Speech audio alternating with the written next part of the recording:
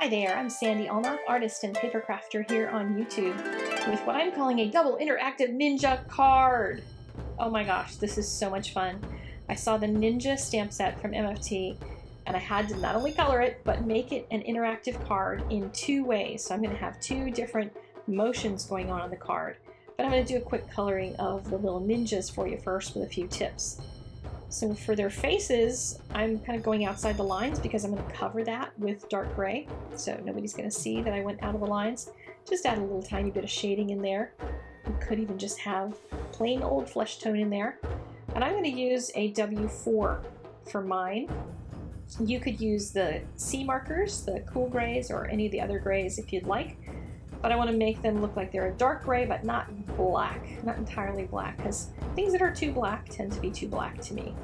So I'm going to use a couple of grays to do this. When I color any object that's black, I never start out with a really light color. So I wouldn't start out with a zero or a one or anything like that. W4 is going to be the lightest I would go. Sometimes I'll even do it like a six for my light tone. But I didn't want to scare everybody, so we're going to do a four, a six, and an eight for the trio for this. And I will color one of these at close to normal speed-ish. I am staying away from the outside line so that I get a little bounced light. It'll give them a little bit more dimension since they are just big gray blobs. And I'm going to reserve a little bit of that outside color to be mid-tone or light color. I'm going to fussy cut mine out instead of using the dies because I don't want the white outline around them since they're going to be interactive and I want them to look like they're actually intertwined and punching each other and kicking each other.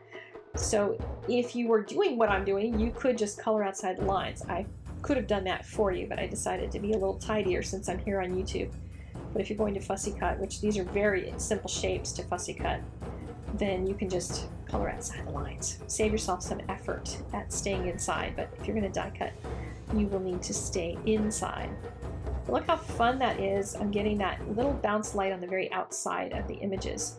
But I do need to smooth out some of that stuff in the middle, so I'm going to go with just a quick stroke or two of my midtone and go through one more time on the top and not scrub at it. If you scrub at it, you'll get that mottled, pixelated, weird thing again. And I'm going to use my C markers, my cool grays, for the detail on the outfits.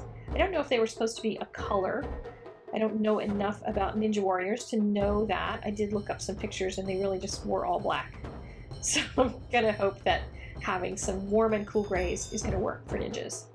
Because I'm, I'm clueless about that stuff. I don't have children, I don't have boys, so I really am not very helpful in deep knowledge of this, but they were so cute and so fun to color. I'm even thinking some of these might be fun to make into a mummy for Halloween. Wouldn't that be hilarious? Make these little guys. So I'm going to speed up to color these other two, but I'm basically doing the very same thing, leaving that bounced light on the outside and using my warm and cool grays. And notice there's one of the little ninjas who's standing still and the other two are both kicking. The kicking ones are the ones that are going to be interactive. And I had to figure out how I was going to have them be interactive together. And I could have done them both with the same type of, of interactivity on the card, but I decided I'm going to use two different ones, two different types. So stay tuned for that in just a moment after I get all of this coloring done. They're um, really fun to color. They're very simple shapes, and they, I, I think for a lot of us, we have an easier time when we have large areas to color, big wide open areas rather than lots of little things. So the swing and slide set from Ellen Hutson has this particular circle die in it. And I'm going to use that as one of my interactivities. I'm going to stamp this little, I guess it's a pagoda. If it's not, someone will tell me. And then I pulled up a scene with some trees and mountains and things because I wanted to try to figure out how to make this look like it's in location and I'm still going to speed through this because most people aren't going to try this anyway, but I'll give you some tips along the way for how I created this. I wanted basically some sidewalk underneath of them, some sidewalk color, because that's what I see in ninja movies, because they tend to fight in big open areas inside of a building that have like pavement. So now I'm going to use my B6 series to do this background, and having all three colors from the same color family is going to keep all that way off in the distance and very soft and purpley, whereas everything else is black and white in the front. So I've got my mountains up there that I just did my flicking with, and now I'm going to do two different colors here for these trees. There was a lighter color in the picture that I was using, as well as a deeper bluish purpley kind of color for the detail trees. And I'm just doodling. I'm going to make a few of them that are going to have tree trunks, but most of them are just going to have this kind of horizontal banding to them. A lot of this will be covered up on the card and just be hinted at. You'll be able to see a little bit of it through the card, but don't stress out about it too much. I just wanted to do enough to set a scene so that when somebody looks at the card, they immediately get the idea that this is in a faraway place where ninjas live. So just doodling my little trees with my B66. And the B6 series is one that I don't see hardly anybody using it, but look how pretty these colors are. They gorgeous? So now I'm finishing off the scene on the piece of paper that's going to be used as the base underneath of this just so I have a little color under there when I get my interactivity going. Finish off my little pagoda. I looked up some of those and they're mostly black with a little red or yellow. The inside, you can make them all kinds of elaborate, but this is also going to be in the background so no one will really see it. To build my little spinner, I'm going to use circles instead of using pennies or dimes, which I've used before. Little circles of paper are going to do the same job without the thickness. And I have a double thickness of dimensional adhesive that fits inside that, that, that little round circle thing. It has to be able to spin fully 100% around. And then I glued the Ninja on top of that top circle. So I have that little sandwich there for him. And I'm going to use a mini action wobble. I had to use a mini for this. The large ones didn't fit. And the mini action wobbles, or even the others, to figure out which side they go on, I tend to just kind of hold one side and then hold the other and see which one bounces the way that I want my image to bounce. Because sometimes you want a lot of bounce, sometimes you want a little bounce.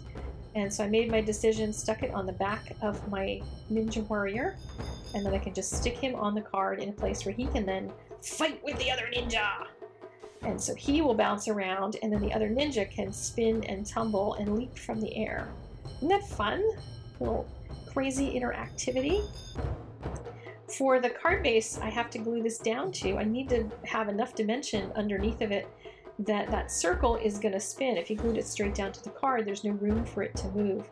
So you also want to make sure that it goes around the circle, around that die, without hitting any adhesive, because the adhesive will stick and will it won't move. So finish building up the rest of that and then adhere it onto that card base that I had colored a little bit so it peeks through. And now we have our ninja fight going on.